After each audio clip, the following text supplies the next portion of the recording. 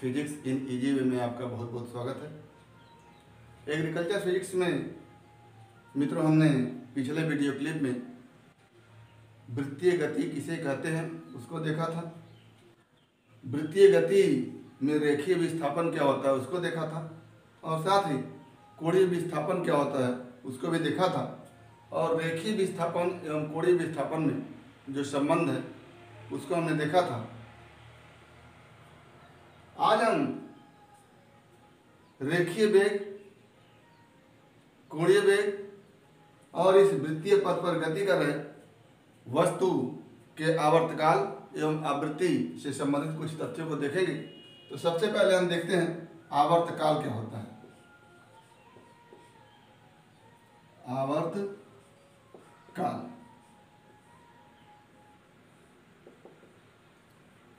Time period. जैसे ये कोई वस्तु बिंदु ए पर है और वृत्ताकार पथ पर गति कर रही है तो एक चक्कर, जो कि बार बार ये वृत्ताकार पथ पर गति करके, चक्कर को पूरा करके अपना ए पर आएगी तो एक चक्कर पूरा करने में जितना इसको समय लगता है, उसी समय को क्या कहते हैं, आवर्तकाल कहते हैं। तो उसको आप लिखेंगे कि वृत्ताकार पथ पर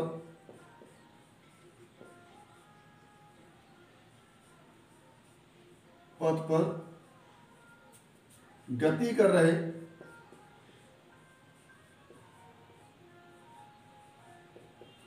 वस्तु को एक आवर्त, एक चक्कर चक्कर को आवर्त भी कहते हैं, एक चक्कर पूरा करने में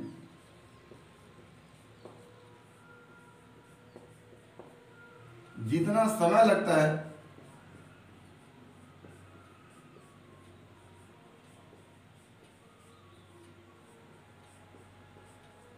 लगता है, उसी समय को वस्तु का आवर्तकाल कहते हैं। वस्तु का आवर्तकाल। कहते हैं,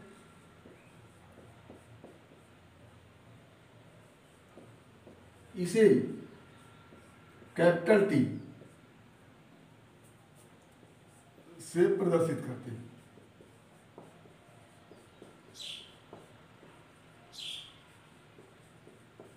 करते हैं।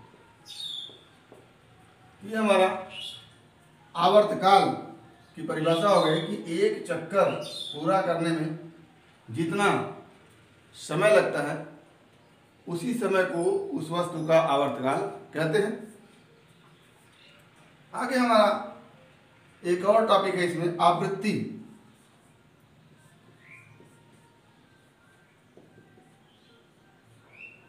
तो आप जैसा कि जानते हैं कि वृत्ताकार पथ पर गति कर रहा वस्तु अगर बिंदु ए से गति प्रारंभ करता है तो बार बार एक चक्कर पूरा करके पुनः ए पर आ गया, फिर दूसरा चक्कर पूरा करके पुनः ए पर आ गया, फिर तीसरा चक्कर पूरा करके पुनः ए पर आ गया। यानी बार बार किसी एक बिंदु पर वो आता रहता है। तो एक सेकंड में जितना चक्कर पूरा करके वो ए बिंदु पर आ जाता है, उन्हीं चक्करों की संख्या को हम क्या कहते हैं? आवृत्ति कहते हैं। क्या लिखेंगे? कि वृत्तीय पथ पर, वृत्तीय पथ पर गति कर रहे।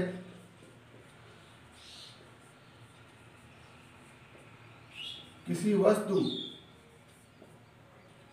द्वारा एक सेकेंड में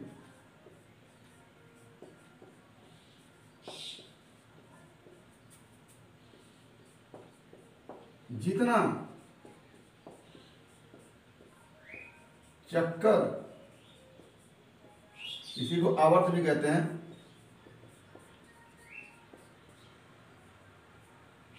पूरा कर लेता है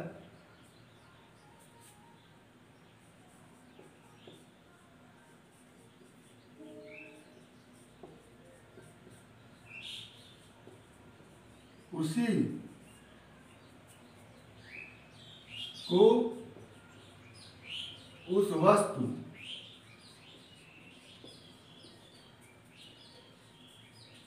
की आवृत्ति कहते हैं। कहते हैं, इसे क्योंकि एक सेकेंड में ये किए गए चक्करों की संख्या है तो चक्करों की संख्या होने के नाते इसको हम एन से लिखते हैं। इसे एन से प्रदर्शित करते हैं। एन से प्रदर्शित करते हैं।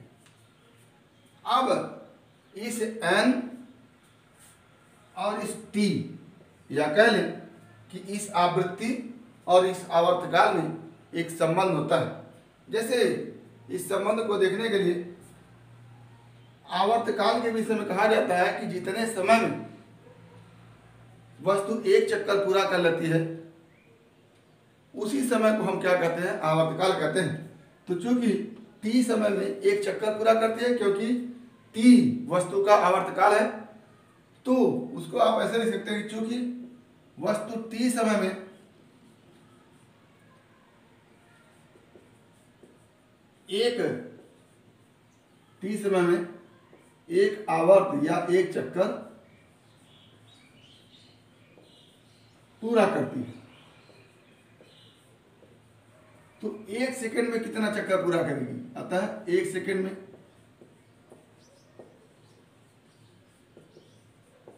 चक्करों की संख्या। तो टी सेकंड में एक चक्कर तो एक सेकंड में एक बटा टी चक्कर, यानी वन बाई टी चक्कर। और इसी वन बाई टी को, इसी एक सेकंड में चक्करों की संख्या को, एक सेकंड में जितना चक्कर पूरा कर लेता है, उसी चक्करों की संख्या क्या कहते हैं? आवृत्ति कहते हैं। तो यही वन बाई टी क्या हो जाता है? आवृत्ति हो जाता है। तो क्या लिख देंगे? अतः आवृत्ति one by t equal to n. आवृत्ति n equal to one by t. आवृत्ति n equal to one upon t. तो यहाँ से आप लिखेंगे आवर्तकाल एवं आवृत्ति में संबंध। तो यहाँ पर आप देख लिए हैं कि आवृत्ति जो होती है, आवर्तकाल का उल्टा होता है। क्या लिखेंगे? चूँकि तीन समय में एक चक्कर, एक आवर्त पूरा होता है, पूरा करता है, इसलिए एक सेकेंड में कितना हो जाएगा? एक बटा टी। और इसी को क्या कहते हैं? एन कहते हैं। क्या हो जाता है? आवर्तकाल या आवृत्ति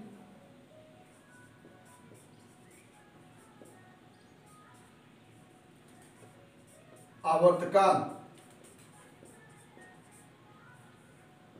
का व्युतक्रम होता है। यानी अगर आवृत्ति एन है तो आवर्तकाल क्या हो जाएगा? यदि आवृत्ति एन है, आवर्तकाल टी है तो एन क्या हो जाएगा? आवर्तकाल टी का उल्टा हो जाता है। ये हमारा एन और टी में क्या है? संबंध। तो ये हमारा हो गया आवर्त आवर्तकाल ये आवृत्ति। और और? एक ये आवृत्ति का जो मात्रक होता है वो प्रति सेकंड होता है। आवृत्ति का मात्रक क्या लिखेंगे? आवृत्ति का मात्रक।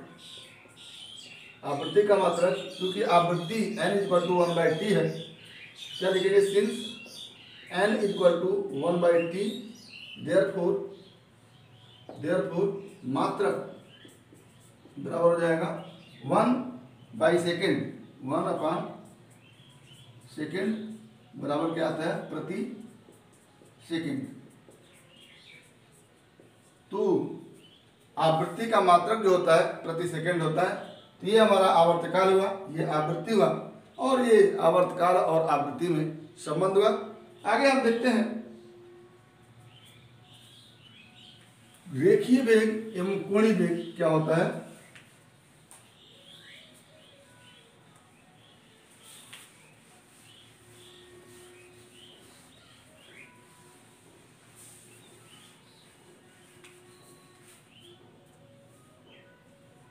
रेखी वेग न कहा करें हम उसको रेखीय चाल कहेंगे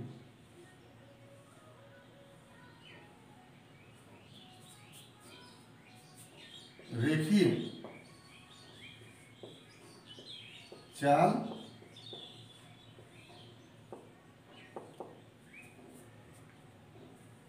क्योंकि ये वस्तु इस वृत्ताकार पथ पर घूमे तो वृत्ताकार पथ पर एक सेकेंड में जितनी दूरी तय कर लेती है, उसी दूरी को हम क्या कहते हैं?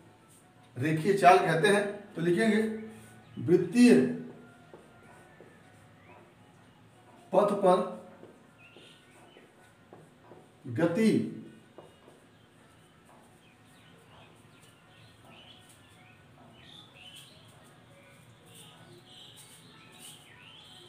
कर रहे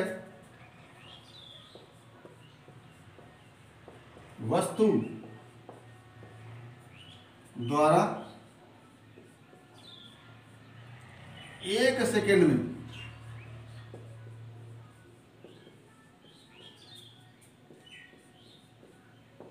जितनी दूरी तय की जाती है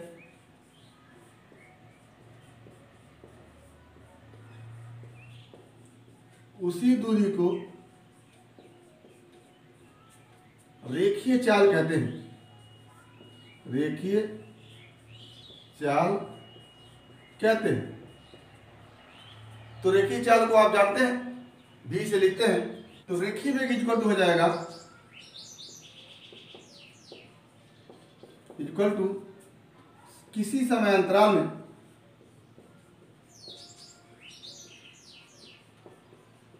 अंतराल में चली गई। वृत्तीय पथ पर दूरी? वृत्तीय पथ पर दूरी बटे समय। अब यदि समांतराल टी में वृत्तीय पथ पर एस दूरी चली हो तो वेग भी या रेखी वेग भी इक्वल टू हो जाएगा एस अपॉन ये एक फार्मूला हो गया। दूसरा फार्मूला हमारा बन के आएगा कि यदि एक आवर्तकाल में या कह लें कि यदि वृत्तीय पथ पर गति कर रहे वस्तु का आवर्तकाल टी हो तो इस आवर्तकाल टी में वस्तु एक पूरा चक्कर लगाएगी और एक पूरा चक्कर लगाने में इसको परिधि के बराबर दूरी तय करना पड़ेगा। तो यदि वृत्ताकार पथ की त्रिज्या आर हो तो परिधि हो जाएगा टू पाई आर और बटे आवर्तकाल टी। तो क्या हो जाएगा? रेखी में इक्वल टू परिधि, यानी एक परिधि के बराबर जितनी दूरी तय करेगी, वो दूरी बटे एक आवर्तकाल समय। ये हो जाता है परिधि बटे आवर्तकाल, और इसी को लिखते हैं v equal to two pi r परिधि बटे आवर्तकाल टी तो एक फार्मूला ये भी हो गया। अगला इसी को हम लिख सकते हैं, v equal to two pi r into one upon t और वन अपॉन टी को आप जानते हैं, आवृत्ति n लिख सकते हैं। ये हो जाता है हमारा भी equal to two pi r into n एक और फार्मूला बन के आ गया। रेखी वेग का formula v equal to s upon t जहाँ s टी समय में चली गई। रेखीय दूरी है वृत्ताकार पथ पर और टी समय अंतराल है। एक फार्मूला ये हो गया। दूसरा फार्मूला v इक्वल टू एक चक्कर पूरा करने में चली गई दूरी टू पाई आर और बटे एक चक्कर पूरा करने में लगा हुआ समय कैपिटल टी तो two pi R upon T एक ये भी हो गया। और अगला यहाँ पर हम two pi R into one by T लिख करके वन बाई टी को एन लिख सकते हैं equal to two pi R into N एक फॉर्मूला ये भी हो गया। आगे, चूँकि ये रेखीय वेग भी एक प्रकार का वेग है, वृत्ताकार पथ पर गति कर रहे वस्तु का वेग है तो वेग का वही मात्रक होगा, वही भी मिश्रित होगा जो सामान्य वेग का होता है। तो उसको आप लोग वेग का मात्रक मीटर पर सेकेंड और वेग का विधि सूत्र, एल, टी, माइनस वन, जानते रहेंगे। जैसा कि पहले भी आप जानते हैं इसको। अब आगे देखिएगा, कोणीय वेग। कोणीय वेग। कोणीय वेग का मतलब होता है कि एक सेकेंड में वस्तु कितना एंगल घूम जाती है। या कह लें कि वस्तु को वृत्ताकार पथ के केंद्र से मिलाने वाली रेखा एक सेकेंड में जितना कोण घूम जाती है, उसी कोण को हम क्या कहते हैं? कोणीय वेग कहते हैं। तो इसको लिखेंगे कि एक सेकेंड में, एक सेकेंड में वस्तु को केंद्र से, किस केंद्र से? वृत्ताकार पथ के केंद्र से मिलाने वाली रेखा। मिलाने वाली रेखा जितना कोण केंद्र पर अंतरित करती है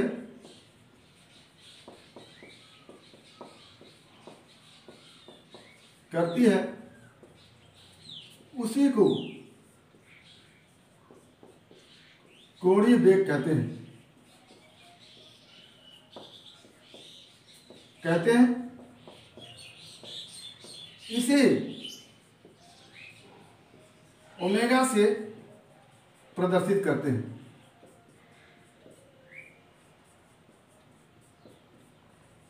अतः ओमेगा इक्वल टू क्या हो जाता है?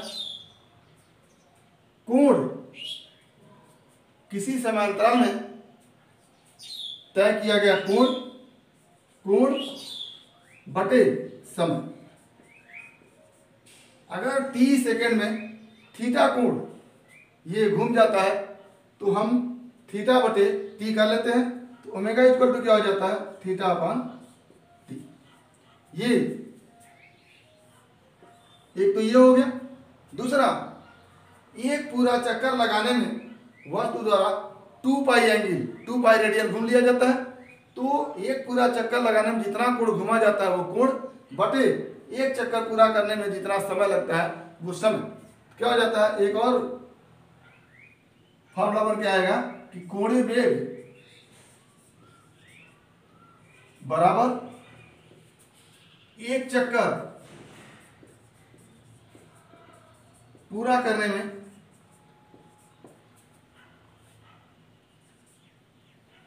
अंतरित कोण बटा आवर्तकाल और आप जानते हैं, एक पूरा चक्कर करने में कोण कितना घुमा जाता है? Two pi. तो कोणी वेग ओमेगा इक्वल टू, एक पूरा चक्कर करने में टू पाई रेडियन एंगल घुमा जाता है और आवर्तकाल क्या हो जाता है? टी। एक ये भी परिभाषा बन के आएगी और इसी को आप लिख सकते हैं, omega equal to two pi अपनी जगह और वन बाई टी को आप यन लिख सकते हैं तो टू पाई एन। तो ये कोणी वेग omega equal to two pi N भी हो सकता है। और टू पाई बाई टी भी हो सकता है। Omega equal to two pi by T भी हो सकता है और omega equal to two pi N भी हो सकता है। तो ये हमारा हो गया कोणीय वेग और इसका मात्रक, इसके मात्रक को देखें तो मात्रक क्या हो जाएगा? टू पाई रेडियन है, ऊपर रेडियन लिखेंगे और नीचे सेकेंड लिखेंगे तो रेडियन प्रति सेकेंड इसका मात्रक हो जाता है। बराबर रेडियन प्रति सेकेंड। ये मात्रक हो गया। और बीमी सूत्र रेडियन का कोई बीमा नहीं होता तो आप लिखेंगे प्रति सेकेंड। ये बीमी सूत्र जो आपका होगा, वो हो जाएगा L zero T minus one. या केवल आप लिख सकते हैं टी माइनस वन ये हो गया बीमी सूत्र। बीमी सूत्र। तो ये आपका कोणीय वेग से संबंधित तथ्य हो गए। अब आगे, कोणीय वेग तथा रेखीय वेग में संबंध को हम देखेंगे।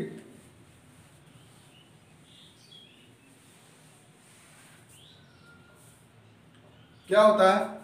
कोणीय वेग तथा रेखीय वेग में संबंध। तो पहले तो आप जानते हैं कि S equal to R into theta होता है। पहले से S रेखीय विस्थापन, R त्रिज्या और थीटा कोणीय विस्थापन। दोनों तरफ़ यदि t से डिवाइड कर दें तो s by T equal to R into theta by T हो जाता है। और s बाई टी को आप लिखते हैं। रेखी वेग भी और ये लिखते हैं आर और थीटा बाई टी को लिखते हैं ओमेगा। तो भी बराबर क्या हो गया? Are into omega. V हो गया आपका रेखी वेग बराबर आर हो गया त्रिज्या। और ओमेगा हो गया कोणीय वेग। तो ये हमारा रेखी वेग एवं कोणीय वेग में संबंध हो गया। तो आज हमने आवर्तकाल को देखा, आवृत्ति को देखा, आवर्तकाल एवं आवृत्ति में संबंध को देखा, कोणीय वेग को देखा, रेखीय वेग को देखा और कोणीय वेग तथा रेखीय वेग में संबंध को देखा। उम्मीद करते हैं कि टॉपिक आपको समझ में आया होगा। अगर इसमें किसी प्रकार की कोई समस्या हो तो प्लीज़ हमारे यूट्यूब चैनल के कमेंट बॉक्स में कमेंट करके अथवा व्हाट्सएप नंबर पर कॉल करके अपनी समस्या का समाधान करेंगे। यदि वीडियो क्लिप पसंद आया तो प्लीज़ लाइक करेंगे शेयर करेंगे। साथ ही हमारे चैनल को सब्सक्राइब अवश्य करेंगे।